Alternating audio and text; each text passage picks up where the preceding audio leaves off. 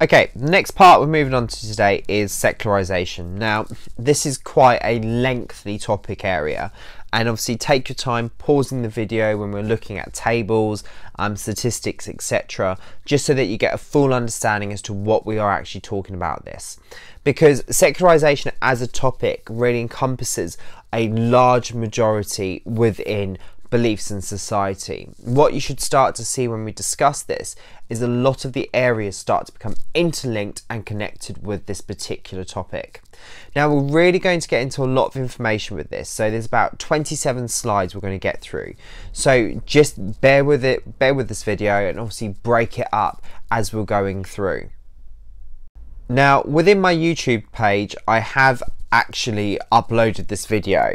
So what you can do is watch this video and just get a rough idea as to what we're talking about in terms of secularization, just so that you guys can start to understand what this actually means for us and how it's actually started to impact our society. Now, the first part that we're looking at here today is defining secularization eh, as an, a sociological key term. Now, many sociologists have argued that the growth of scientific knowledge, along with industrialization, would lead to secularization, which is evidently just a natural step in terms of rational thought and progress. However, secularization has been defined in a variety of ways. So, Brian Wilson in 1966 defined it as the process whereby religious thinking, practice, and institutions lose social significance. Um, as a result of that, we can see that there would be a clear separation in terms of the church and the state. However, Steve Bruce in 2002 says that there is no one secularization theory. Rather, there are clusters of descriptions and explanations that cohere reasonably well, that therefore present an argument as to what is actually happening within our society that with the decline of religiosity, that is simply just a trend in terms of identifying what is happening with secularization. Now, Jose Casanova here in 2003 distinguishes between two general approaches to defining secularization. Now, an emphasis on declining importance of religion in terms of social structure and the significance of religion in society generally. Now, this often involves the separation of religious life from the public sphere so that it becomes a private matter.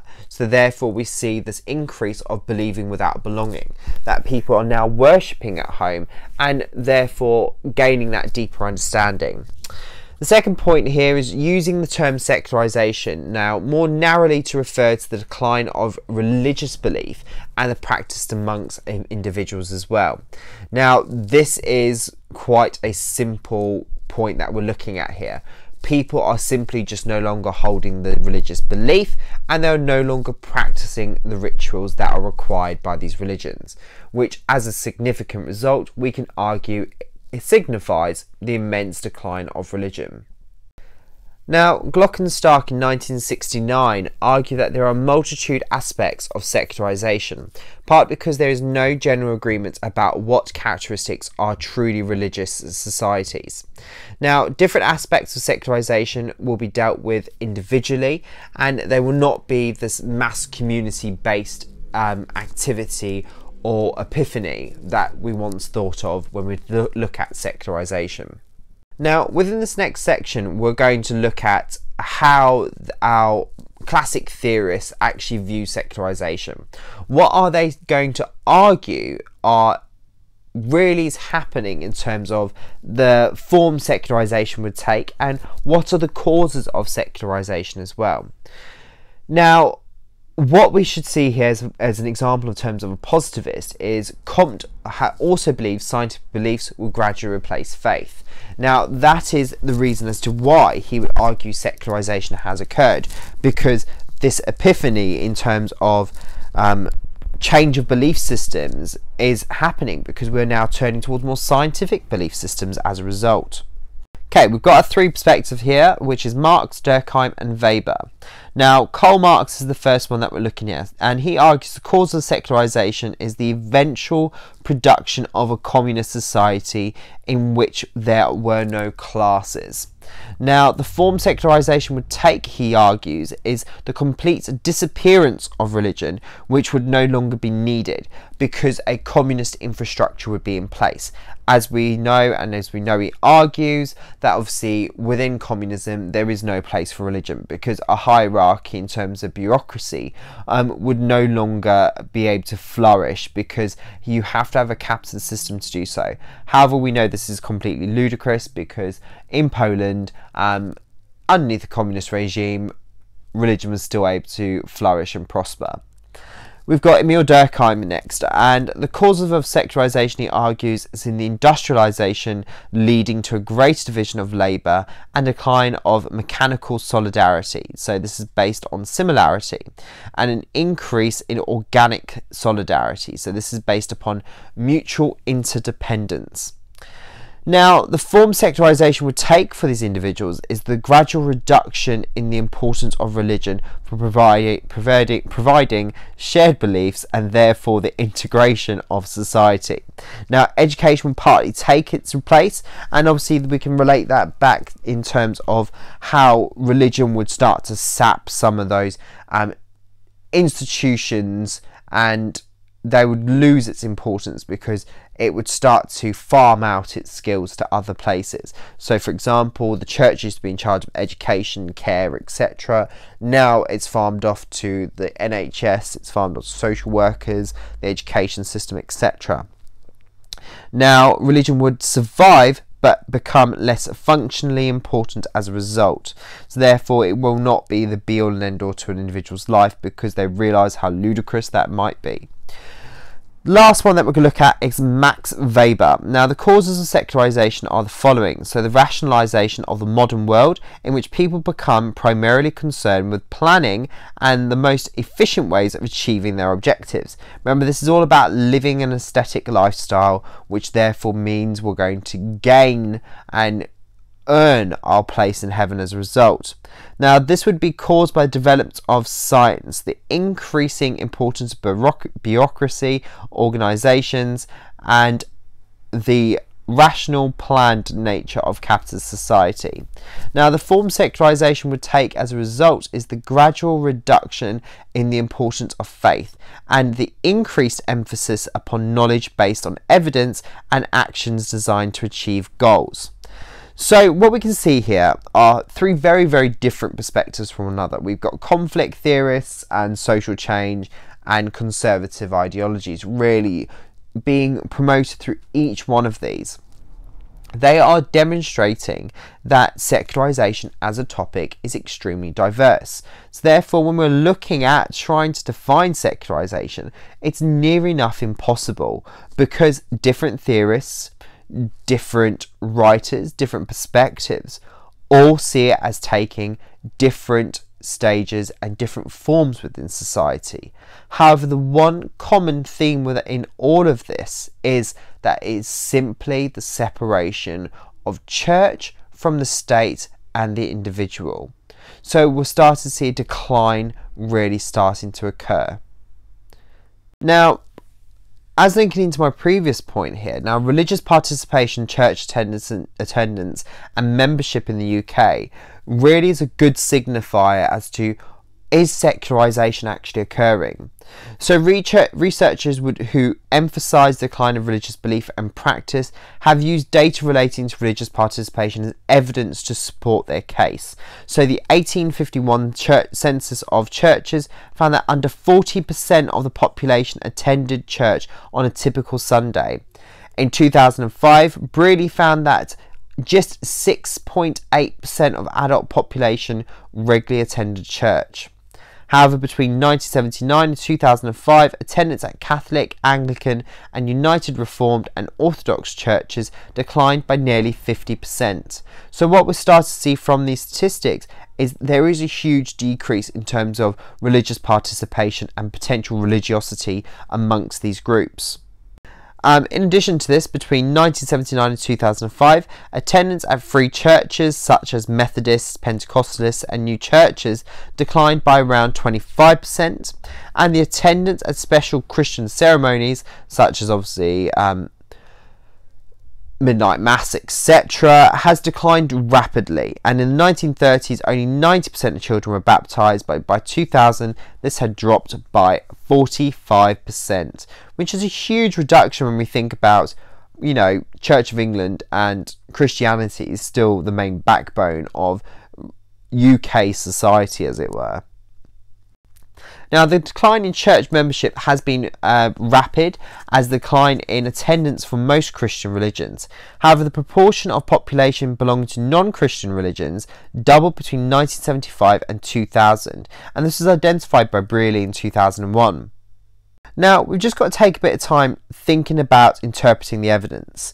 So, most of the above evidence seems to suggest secularisation is taking place, at least in the UK. However, there are question marks over the validity and reliability in the statistics. Now, this is something by which you have to consider because if we're analysing statistics, actually how valid are they and how reliable are they? Are they providing a complete picture or only part of the picture? Now, just as a quick little reminder, validity means how true the data is, so i.e. how close the fit is between the data and reality. And reliability is defined as data is reliable if other researchers using identical methods would produce the same results. So we're going to have to look at these statistics and question this. If another researcher replicated this um, census or this research, would they get the same result? And how true is this data to real life as a result as well. Now, 19th century statistics pose problems because the standards of data collection may not meet contemporary standards of reliability. So therefore, if we replicated them now, we would not get the same results. Therefore, high, big, big question mark is thrown right above this. Um, different criteria is now used to record membership in different religions. And meanwhile, in the past, this was highly unreliable because it was left maybe to one or two people within the church. And therefore, if they had poor organisation, none of the church records would be accurately representing how many people are going to this organisation.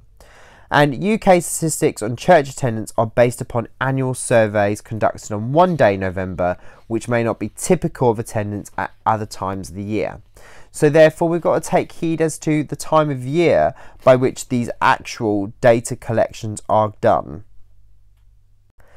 Now, the validity of using attendance statistics as a way of measuring religiosity is open to question. So, in the 19th century, people may have attended church as a sign of respectability without being truly religious. Today, people may attend church in order to get the children to church school, even if they do not hold any religious belief, because that is the best school in the area. So, I will do whatever I can to ensure my child goes there. And even if that means I fake being religious, that is what I'll do. Furthermore, today, religion may be expressed in other ways. It may have become more privatized, with people practicing religion or developing their own beliefs away from the institutions themselves. The next part we're going to look at is religious, religious participation outside of the UK. So, if the theory of secularization is applied globally, then evidence does not support it as it appears to in the UK. So, in the USA, religious participation is much higher than most of Europe, with some 40%, um, 40% attending church regularly. Now, according to Brierley in 2001, 34.5% of the world population were Christian in 1990, and by 2000, this had declined only slightly to 33%.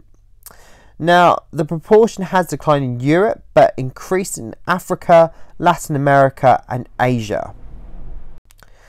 Now, Brierley also states that there has been a big increase in the proportion of the world who are Islamic. His figures suggest a small decline in the proportion of people who are atheists, and therefore a small increase in the number of religious people in the world as a result. So therefore, what we conclude from this is actually people are starting to adopt these belief systems once again because they're looking to search and explore the world in a meaningful manner. Now, membership and attendance provide only one way of measuring religious belief, since people may be religious outside of the context of organised religion. However, when we look at this, we'll fall onto other ways of collecting data, such as opinion polls, to see how religious people actually are. Now, the opinion poll evidence does suggest that religious belief has declined. The table below, which we're going to look at on the next slide, uh, it shows between 1947 to 2000, belief in God declined substantially. Although general spiritual beliefs may have partly replaced more traditional beliefs in God. Now, this opinion poll evidence suggests something of a shift away from traditional religion towards more generalized spiritual beliefs. Now, this fits in with the ideas of Heelas and Woodhead, by which they are looking in terms of turning towards these alternative belief systems because these mainstream religions no longer deal with what they are, are meant to be dealing with. Now, Steve Bruce in 2001, 2001 argues that those who say there is something there are not really expressing strong or significant beliefs. Therefore, the opinion poll data shows significant weakening of religious beliefs as a result. However, the 2001 census in Britain found that most of the population did profess to belong to a religion. Of those answering, and 92 chose to um, answer the question, 71% um, said that they were Christian, 2.7% said they were Muslim, 1% were Hindu, 0.6% Sikh, 0.5% Jewish, 0.3% Buddhist, and 0.3% other religions. Only 15.5% said that they had no religion. Therefore, from this data, we can conclude that actually people are religious. However, there are not there is not a huge proportion of those who are seeming less religious as a result. So we need to be very careful when we're looking at this data and drawing this whole big truth that secularization has occurred, when in fact this might not be the case. However, the validity of this data may be questioned since over 390,000 people stated that they were Jedi's or Jedi Knights. Now, this was a whole internet conspiracy type thing um, by which people were asked to write this on a consensus so that people could start to claim tax breaks, etc., to try um, explain their religious ideology. Also, many of those stating that their religion may have a very weak affiliation. In contrast, survey research in 2003 found that 41% said that they had no religion as a result. Alright, the next section that we're going to move on to is religious pluralism. So, some researchers imply that truly religious societies um, generally have one faith and one church. Um, this obviously provides um, that society with a set of norms and values which provide value consensus and that shared collective consciousness that the functionists often quite preach about. Now, this situation may be characterized in some small scale societies, such as um, the study by which Durkheim conducted with the Australian Aborigines.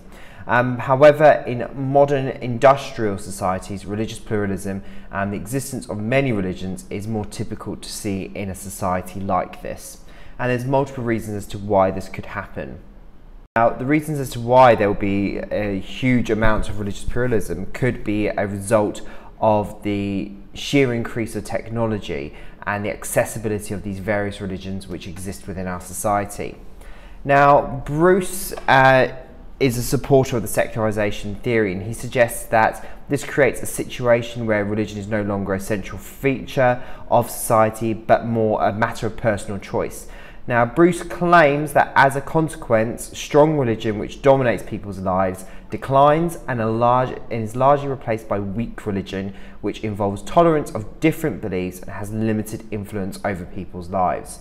Now, for us here, we would argue that that would be the New Age movement as an example, because as we know, the New Age movement as a whole um, general idea is less influential than that of mainstream religions such as Christianity. Now, to Bruce, um, a fragmented and pluralistic society such as modern UK um, do not lend themselves to having religion that exercises a strong influence as a result. And as we can obviously see within our own society, religion has significantly declined in its importance. Um, however, critics of the secularization theory believe that religious pluralism is not incompatible with strong religious societies. So people may have different beliefs but hold them very strongly. So for example, in Northern Ireland, Christianity is more strongly followed than in England, even though there is a major division between Catholics and Protestants. Um, obviously, that is a very interesting angle by which you could use as an evaluative point. As we know from the previous videos and discussions that we've had in lesson, ethnicity does have a huge role into play as to how much or how little do people believe in um, some religious entities. Now, on the face of it, minority ethnic groups in Britain seem to contradict the theory of secularisation because they appear to have a stronger religious beliefs than that of white British people. However, Steve Bruce again believes that greater participation is not the result of deep religious conviction but serves a particular function for minority ethnic and minority uh, migrant groups. Now, the various functions that the religion offers are going to be cultural defence and cultural transition, by which we're going to look in more detail now. Now, cultural defence, this is where two communities are in conflict and have different beliefs. Religion becomes a way of asserting ethnic pride. Similarly, when a minority ethnic group feels some hostility from the wider society, religion can be a way of achieving community solidarity. So, by way of forcing um, the general masses to follow one single um, religious dogma or doctrine. Now, the last one that we're looking at here is cultural transition. Now, this is where religion can also be useful, where people have to adjust their identity to deal with their changed situation. So, for example, Asian African Caribbean migrants to Britain can use mosques, temples, and churches as centres for their communities, so, they, so that as a result, they do not lose their um, cultural identity or um, identity or from their homeland. So they will hold on and cling to these religious communities because that is their last connection with their motherland or their main community. Now to Bruce, these processes keep religion relevant but do not create a genuinely religious society. However, Brown in 1992 disagrees and argues that ethnic defence is a crucial function of religion in the modern world and because it leads to a revival of religion and it creates more religious societies as a result of this. Now, Chryssides similarly finds little evidence of decline in religion amongst ethnic minorities.